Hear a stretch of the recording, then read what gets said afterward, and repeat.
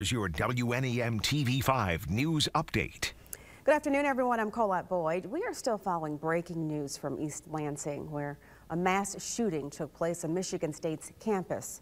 Now, the first report of the shooting was at 8.30 p.m. in Berkey Hall. While police were responding to that call, another shooting was reported inside the MSU Union building.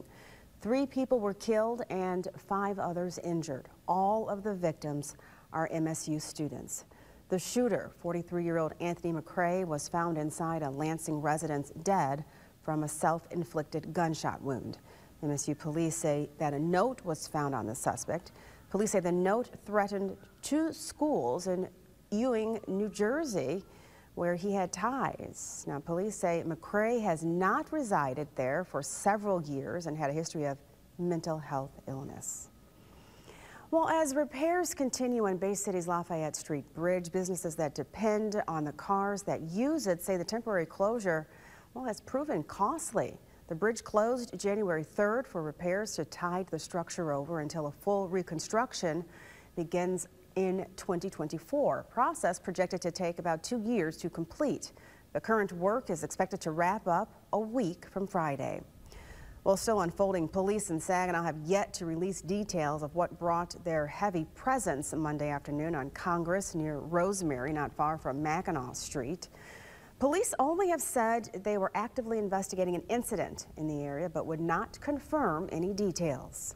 Now here's Matthew with a look at your forecast. Thank you, Colette, for this Valentine's Day. Pretty warm. We're up to 51 for this afternoon. We are expecting dry weather through the remainder of the afternoon as well. It's not until around 7 to 8 p.m. where we see some light scattered rain moving into the area, but this will just be on and off and on the lighter side, so not a complete washout like late last week and even into Wednesday morning. Some of the scattered rain still remaining before drying out by your Wednesday afternoon. Rainfall totals only around a tenth to two tenths of an inch, the highest total into our northern counties. More importantly, though, is with this rain moving in, the wind gusts will be picking up as well. So tonight and tomorrow, we have a first alert weather day, and that is the potential for gusts up to 45 to 50 miles per hour. So that is strong enough to cause some tree damage on Wednesday and possibly even a few isolated power outages as well. But those wind gusts will be the strongest right in the middle of your Wednesday from around 10 a.m. towards 3 or 4 p.m. And by dinner time and especially into the Wednesday night time frame,